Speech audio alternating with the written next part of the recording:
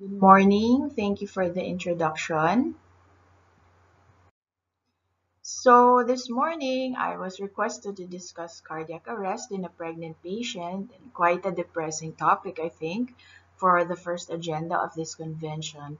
As you can see, quite a tall order, but I will try to give a practical approach on this topic. Most especially, I know personally of this situation and where many are listening today have been in, where it's just you and the pregnant patient in the middle of the night in a remote part of the hospital. So, I have nothing to disclose. So let's go into the meat of the matter and take this quite extensive topic one step at a, at a time. Let's start with the first five minutes of maternal cardiac arrest. So as an overview, the first five minutes of maternal cardiac arrest involves the same resuscitation prioritization as a non-pregnant patient. As you will see as we go through this lecture, then much of the guidelines of the American Heart Association is the same for a pregnant patient as with a non-pregnant. So it prioritizes C, circulation foremost, followed by A, airway, then breathing, defibrillation, and at the fourth minute, Decision for E, extraction of the fetus. So E, extraction, is the decision point in failed maternal resuscitation with the goal of delivery of the fetus by the fifth minute via perimortem cesarean section due to failure of return of spontaneous circulation. So outcome is largely dependent on the anesthesiologist's prompt decision making with the primary focus of mother survival throughout resuscitation. So let's put in mind the first five minutes of resuscitation and remind ourselves of the physiologic changes associated with pregnancy and the factors that would make maternal resuscitation successful. Bear in mind the hematologic, the cardiac, pulmonary, airway, GI changes leading to drastic alterations in maternal physiology. And if you fail to acknowledge these changes, it can hinder successful resuscitation. But I will not go into this in detail, and I will only discuss the more important physiologic changes to consider in the cardiac arrest of a pregnant patient. So first is aortocaval compression. Prioritizing C circulation, we must consider this obstacle in effective resuscitation. In non-pregnant patients, chest compressions can achieve about 30% of normal cardiac output. But with aortocaval compression, the cardiac output drops to around 10%. So you must get this obstruction out of the way. So pull the uterus in a scooping motion towards the patient's left side. Hence, pulling is better than pushing. And the maneuver is lifting up the uterus and displacing it to the left side of the patient. Previously, tilting was recommended using a wedge for 30 degrees, but this is no longer recommended unless the patient is on a dedicated tilting table. So when do you start doing this? What defines a gravid uterus with the potential to cause aortocaval compression? So several factors determine the weight of the gravid uterus, the weight of the uterus, the number of fetuses, the weight of the fetus, the weight of the fluid of the mother. So a study found that maternal aortocaval compression can occur for singleton pregnancy starting at greater than 20 weeks age of gestation. As a general rule, the uterus reaches the level of the umbilicus at 20 weeks age of gestation and grows at a rate of approximately 1 centimeter in length for every week of gestation thereafter. So to have a rough estimate, one finger breadth is roughly 2 centimeters. So a uterus extending 4 finger breadths is 8 centimeters. Add to that the 20 weeks at the level of the umbilicus and that would represent a gestation of 28 weeks.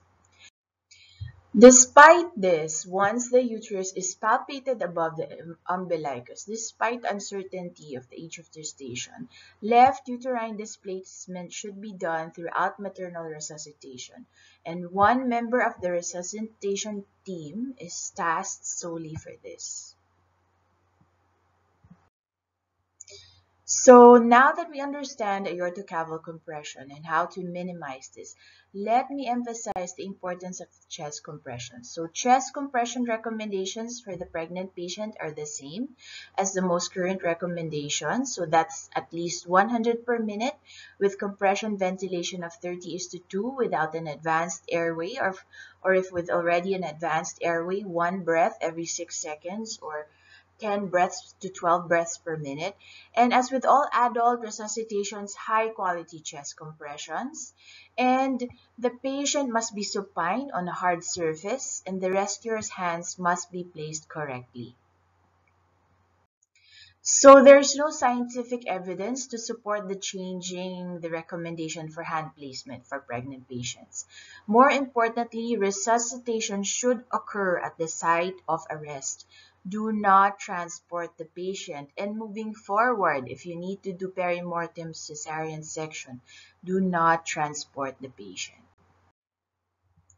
Next, A airway.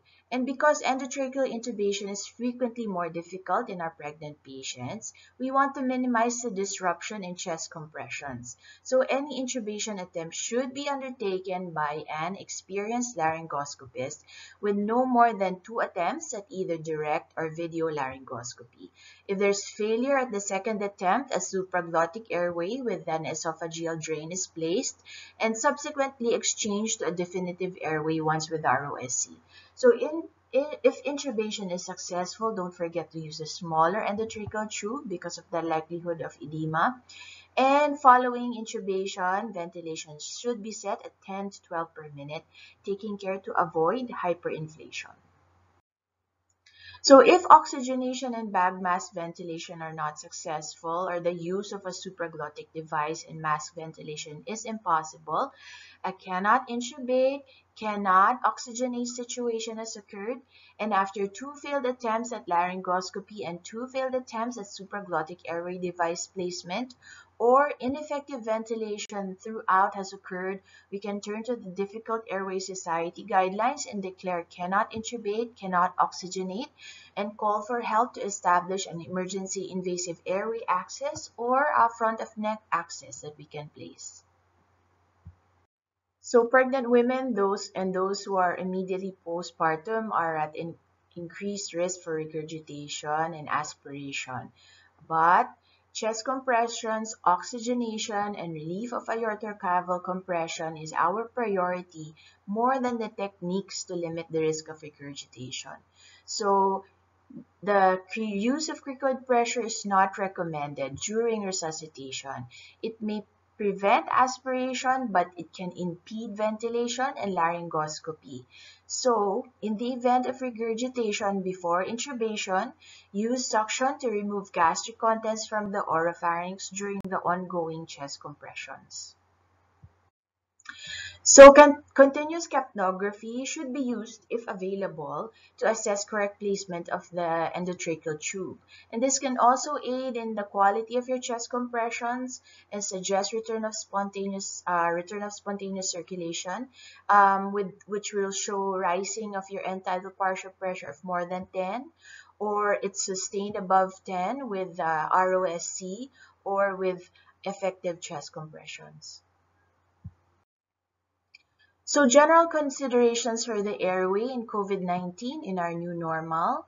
Don't be overachievers. Target O2 sats 88 to 95%. Do rapid sequence induction using the appropriate medications for your patient. Stop chest compressions during intubation and limit this to 10 seconds. In cases of difficult intubation or ventilation, you may use bag mask bag valve mask ventilation with a jaw thrust maneuver to ensure a tight seal or place an LMA and use the lowest positive pressures to target volumes of 4 up to 6 ml per kilo of ideal body weight. So once an advanced airway is placed, avoid ambu bagging and during ongoing chest compressions, if you have a ventilator or an anesthesia machine, you may shift to SIMV mode and use the rule of tens. So it's a backup rate of 10, a pressure support of 10, a flow trigger of 10, and then a PEEP of 0. So early defibrillation should be provided when appropriate and modifications in shock energy and the algorithm is the same. So the recommended defibrillation protocol should be used in the pregnant patient as in the non-pregnant. And defibrillation at the biphasic shock of 120 to 200 joules with subsequent escalations of energy output if the first shock is not effective. Compression should be resumed immediately after delivery of the shock and you should not withhold defibrillation due to concerns for fetal safety and there's only a minimal amount of energy that's transferred to the fetus and it's safe to defibrillate a pregnant patient in any stage of pregnancy. So anterior lateral defibrillator pad placement is recommended as a reasonable default. Don't forget to put the lateral paddle under the breast tissue in the pregnant patient.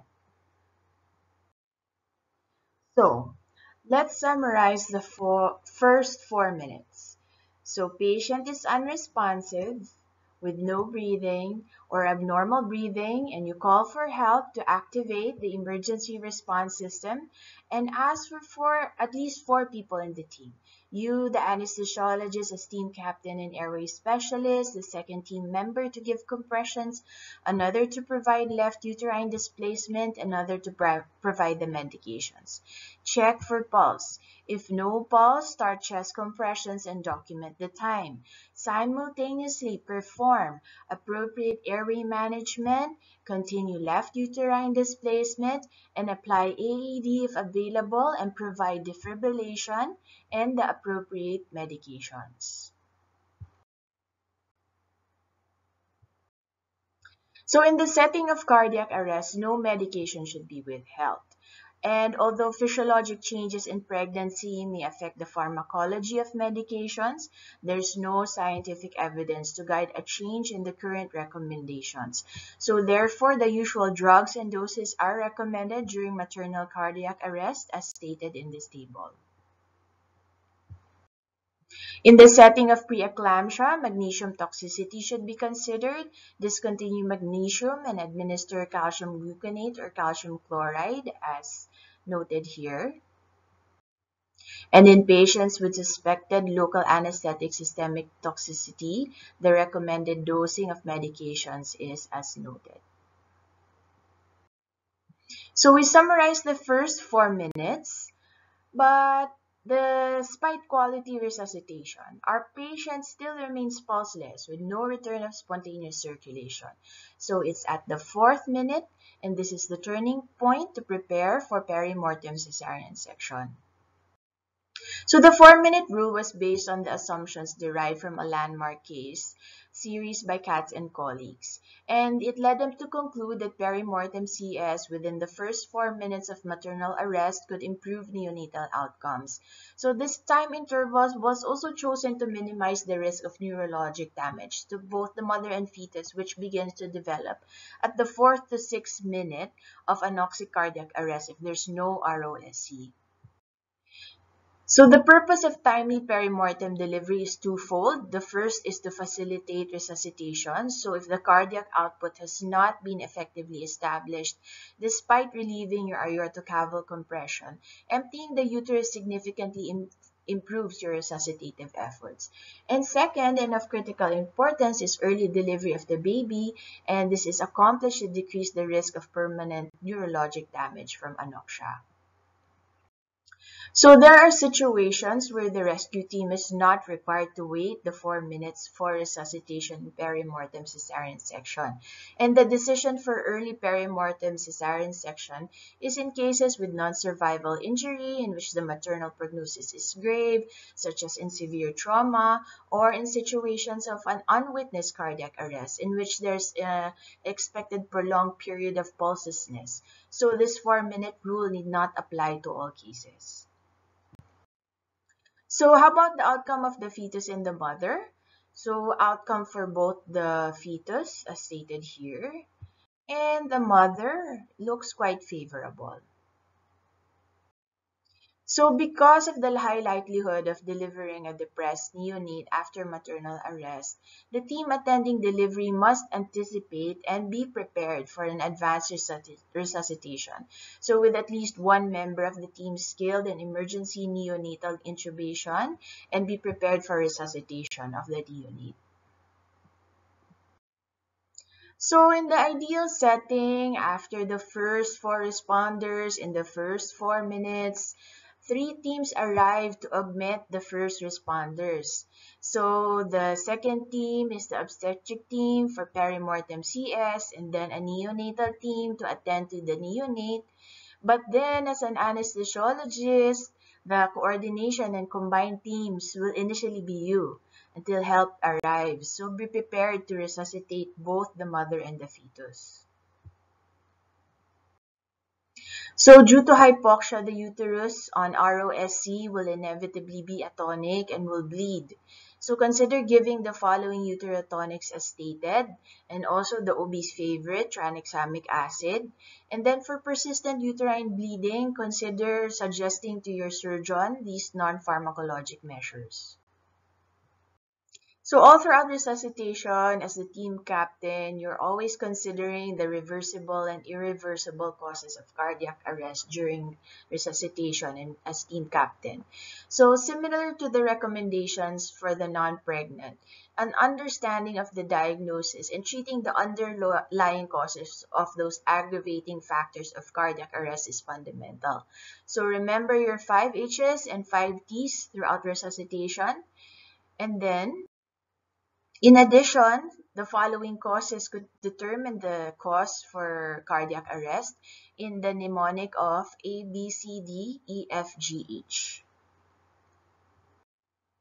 So in the setting of the new normal, where our PPEs preclude us from performing a complete physical examination, bedside ultrasound has become a skill of increasing importance in aiding us with the causes for these critical events. So cardiac causes can be seen and also pulmonary problems.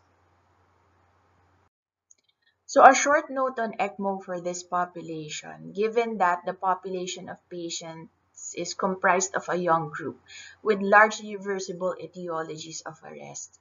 So use of ECMO should be considered if it's available in your hospital.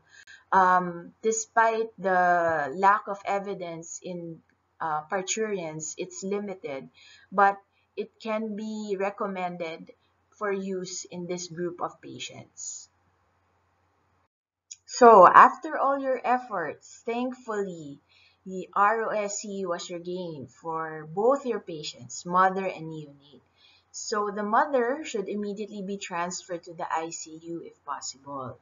So even if with all your efforts it's successful and you have ROSC, the effect of post-arrest brain injury limits the positive outcome for cardiac arrest.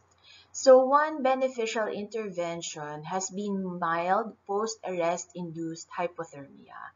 So pregnancy is no longer an absolute contraindication to targeted temperature management or targeted hypothermia.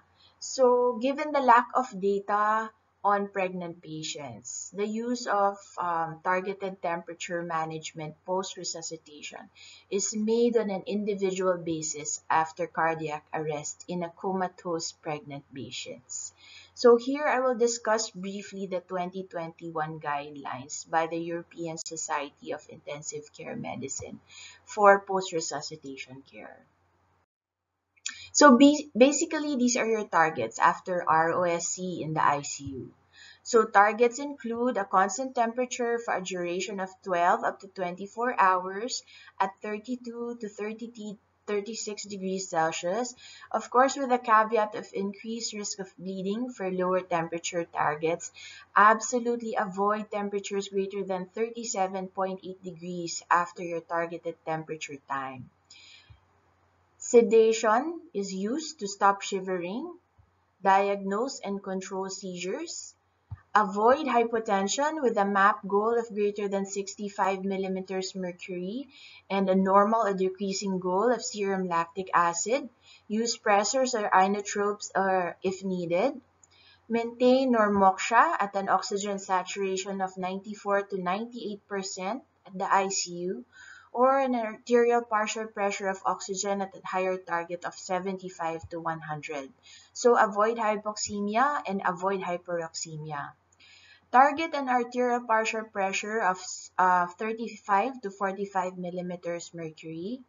Once cleared for feeding, target feeding using the gut first, using your NGT, before deciding on total parenteral nutrition. Target normal glycemia with a blood glucose target of 140 to 180 milligrams per deciliter and a urine output of 0.5 ml per kilo of actual body weight. So if you know the cause, determine the etiology and continue treating the etiology.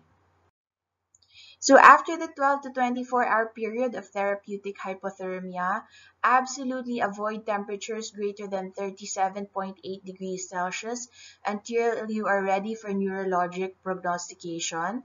So neurologic prognostication is usually done after completion of your therapeutic hypothermia and factors such as sedation are excluded. So that's roughly 72 hours after return of spontaneous uh, circulation.